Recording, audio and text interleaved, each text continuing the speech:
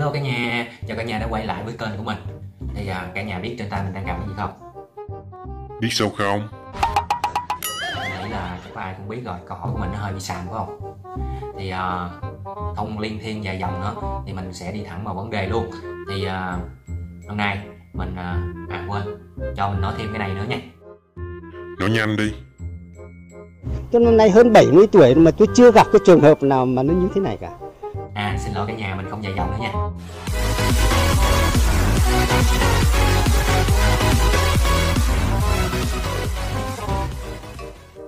Thì à, ngày hôm nay mình sẽ chia sẻ cho cả nhà một cái bí quyết mà mình nghĩ là chưa có một kỹ sư hay là một nhà khoa học nào trên thế giới mà nghĩ ra cái à, cái suy nghĩ của mình. Nói chung là nhà cái nhà sản xuất ra cái này cũng chưa suy nghĩ tới luôn thiệt đó mình nói thiệt đó cả nhà. Mình không nói đùa đâu. Thì những gì mà mình nói á, sẽ làm bằng chứng thước to nha. Trời ghê chưa? Ghê ghê ghê chưa? Ghê chưa? Thì cái bí quyết mà mình nói đó đó chính là cách mà mình xài cái cục sạc này nè là không bao giờ hết pin. Đấy đây là hiện tại nè. Nó là bốn cục pin. Đó, nó là bốn cục pin nha. Thì uh, mình sẽ hôm nay mình sẽ chia sẻ với các bạn một cách. Đó chính là không bao giờ mà xài. Mình vẫn xài nha mình vẫn xài nhưng mà không bao giờ hết pin. Đấy. Thì không đâu ba. Thì à, bởi vậy mình mới dám khẳng định với à, cả nhà là chưa một cái nhà khoa học một nhà phát minh hay là cái nhà sản xuất ra cái này là nghĩ đến. Rồi tự nhiên cái mình thấy mình giống như là một thiên tài vậy cả nhà. Tự nhiên mình à, đang à, lơ lửng ở trên cung trăng trên bầu trời. Không biết có ai kéo xuống giùm không? Mình thấy mình vĩ đại quá à, mình nghĩ là có thể là mình à, sẽ gửi cái nghiên cứu này cái suy nghĩ này phát minh này à, đến cái à, để à, tham gia cái giải mà Nobel đó cả nhà. Cả nhà biết cái giải đó không? Đấy mình nghĩ là mình sẽ gửi cái này lên mình tham gia cái giải đó. Và mình nghĩ là mình sẽ được hạng nhất nha cả nhà.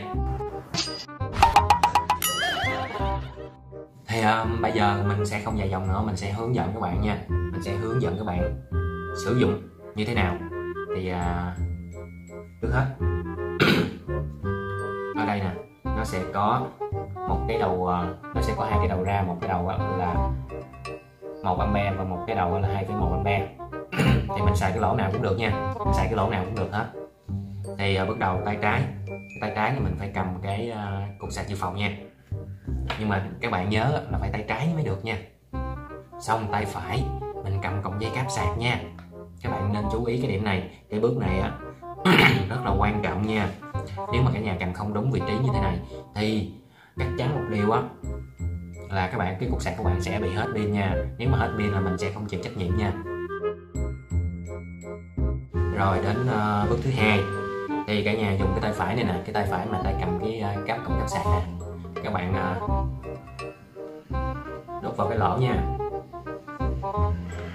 nhớ ghim đúng lỗ nha cả nhà ghim sai lỗ là nó không vô đâu nha cả nhà que, que é isso? É risada?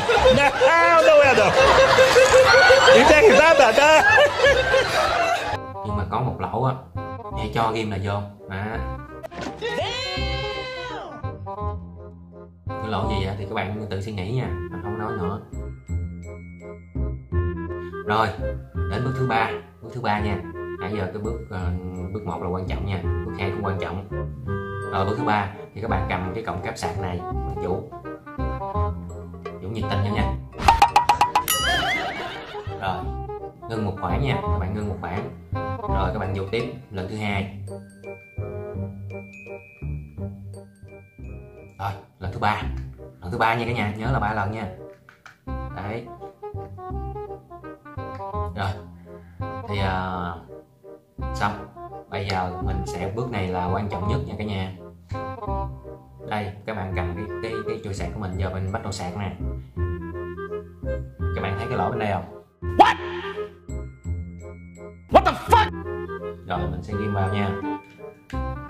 Rồi mình sẽ bật nút lên.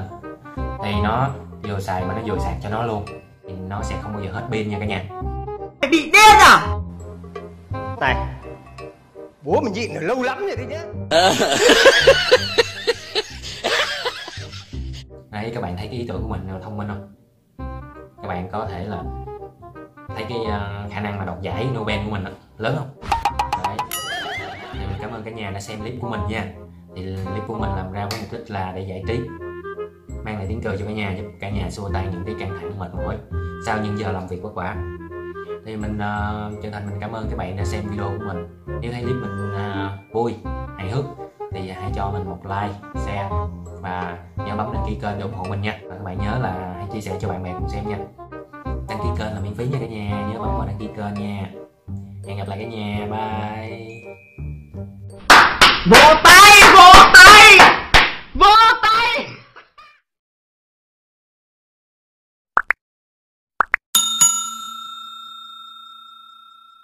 nhớ